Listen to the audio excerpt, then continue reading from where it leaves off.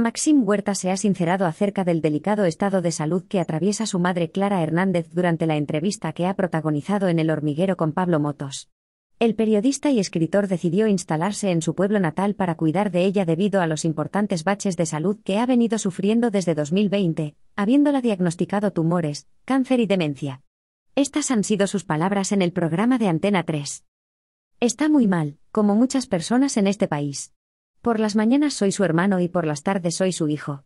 Me fui a vivir a Buñol para cuidarla, y sobre todo para no tener una pena de futuro. Quiero morirme tranquilo y que ella haga el viaje feliz. Envejecer es una auténtica putada para el que envejece y para el que lo ve alrededor. Me cuesta ser lo suficientemente fuerte para cuidar,